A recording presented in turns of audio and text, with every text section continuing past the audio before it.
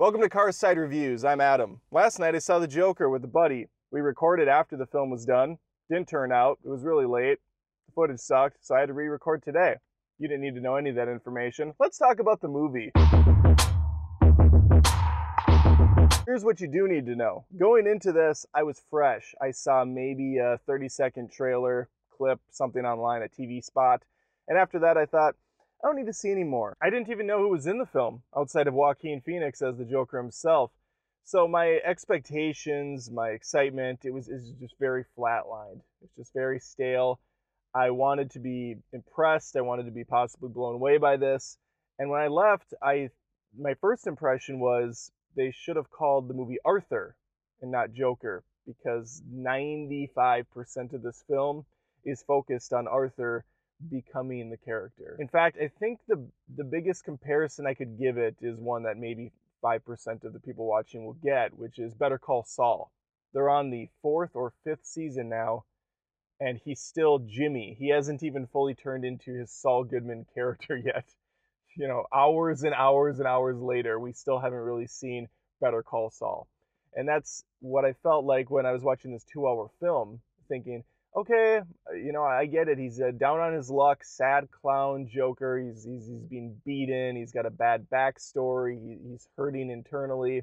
He's got some major mental issues. He's suffering from some clinical disabilities. There's obviously been a lot of interpretations on the character over the years, from Mark Hamill's brilliant voice acting as the uh, animated character, and you know he does the video games and then the, the, the TV show and all sorts of stuff, to Heath Ledger's darker, you know, grittier take, more serious uh, role. And then you have like Jack Nicholson and the, that that seven, that 60s version of the character. I can't remember the actor's name. Let's talk about some of the pros. I don't want to give any story elements away. This is spoiler free, like all my car sides are, unless I put up a giant spoiler warning. The cinematography in this is gorgeous. There is a lot of breathing going on with this. The the movie takes its time to unfold the story. These shots will hold for sometimes 20 to 30 seconds and you'll just kind of watch as he meanders down the streets or hops downstairs, usually dancing, which is odd. There's an artistic, you know, style to this thing too, which I think is sometimes a bit played out. Uh, you know, since the Joker is constantly down on his luck and, and being beaten and, and, and being taken down, it, it's just weird that he rises above it with this kind of dance number that he does. We're talking six or seven times when he's just kind of dancing in his underwear, dancing down an alleyway, dancing before going on stage. It's and it's not even like a, a fun, cool dance to watch. It's just him kind of awkwardly positioning his body in weird ways. The awkward dancing is accompanied by a terrific score. The thing is beautiful. It's it's a little haunting. It's very epic in nature oftentimes when he's just kind of sitting there struggling internally, we don't really see what's going on other than a man who's clearly broken and, and he's fighting himself constantly. Clearly, inspiration was taken from The Dark Knight with Heath Ledger, and they thought, you know what, what if Ledger had his own movie? What if that was the sole focus and there was a few other characters coming in and out from the Batman universe, but not really much. They're just background. What if we did that? And that's what Joker attempts to be I just and here's the problem for me. I just didn't like this story that much. I didn't like this version of, of Joker very much. I wanted something more.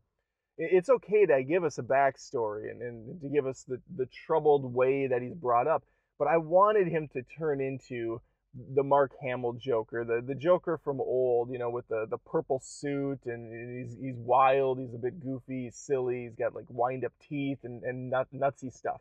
This takes the Heath Ledger route, but but goes even more extreme with it, and, and makes him even more of a human, more of a serious threat, in in a in a in a mental way, not in a physical way. That being said, I was still far more intrigued by Heath Ledger's Joker because of the mask on every portion of his life, not just on his face, on his history. We don't know how he got the scars. We don't know how he was brought up. This version removes all the facade. We know exactly why Arthur's the way he is, why he keeps a journal of disturbing thoughts mixed in with some terrible jokes, why he wears the makeup, why he's searching for something more to his life, And that's where the review's kind of tough for me. If this movie wasn't called Joker, if it was called Arthur, it had nothing to do with the Batman universe, this is a really good movie. It, it, it's a good character study. But because it says Joker, because there's an expectation with that character, it just didn't live up to it for me. And I was just waiting the whole film for something more. And and I know that's not going to be a problem for a lot. I'm sure it's getting a lot of praise. You know, Phoenix does a great job. He's he's vulnerable. He's got a physicality. He lost a ton of weight clearly for the role. There's just you can tell he put in the work to make this character stand out, and he does stand out, just not in the way I wanted it. And that's okay. It's it's not not for everyone. It's not going to be for everyone. You may be a parent wondering, Adam, give me some advice. Can I take my child to this film? I wouldn't. I wouldn't. I, I would I would make sure they're in their teens, uh, for multiple reasons. One, it is a slow film. There's you know it's a character study, so there's there's a lot of just dialogue. There's a lot of kind of artsy musical shots that don't really have much going on, and I don't think kids will really you know appreciate that too much. There there's not a lot of action. There's uh, but when there is action, it is kind of it's graphic. There's there's some violence. There's a lot of blood. There there's one or two scenes in particular that that make you think, okay, this is like American Psycho. This is very this is very in your face. They don't last long, and they they weren't like I don't know if you've seen Daredevil, the TV show on Netflix. It's nothing really worse than that. You know, like that door scene with the head, or or uh, what's that other one? The Boys. Uh, yeah, it's about like that. So, which is a great show. The other hang up I had with the story, outside of this doesn't even seem like the Joker, is they do a couple of these, you know, twists and turns, I guess, uh, that they, they reveal later on. And I thought the reveals were incredibly obvious. I was just waiting for them to say, aha, look it, look what we did. They, they, they didn't surprise me in the slightest.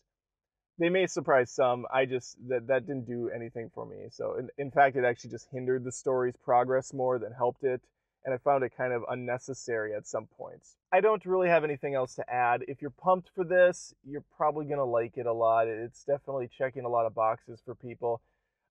Me not really having any sort of hype or expectation, just it, it didn't really do much. I just thought, okay, this was fine, but that that's not the Joker I wanted to see. So, you know, I opt. I, I say a movie's worth the drive, you should head out to the theater, go to it, or it's a complete wreck meaning don't see it at all. This I think falls in the middle. I'd say I'd say you know stay at home, stream it when it comes out on Amazon or Netflix or all the other freaking apps that are out there. Just wait if you're not in a rush. I don't think there's anything too compelling that's gonna gonna move the needle if you weren't really wanting a Joker movie or cared about a Joker movie. I saw a couple articles about it getting a lot of heat for being controversial and, and whatnot. I, I didn't see that at all. I think that some of that is maybe artificial or you know sites trying to just drum up controversy for the sake of it obviously you can see a lot of ties to real world events if you look for them they're, they're pretty in your face actually so you could say like oh this represents this group of people this represent you're to see what you want to see that's what a, a good movie does you know it, it, gives you something to talk about it, it, it adds some layer to the story and this does that a little bit it, it's pretty on the nose to me though, so I'll, I'll leave it at that. Thanks for watching. Thanks for joining me in the car, and I'll see you next time.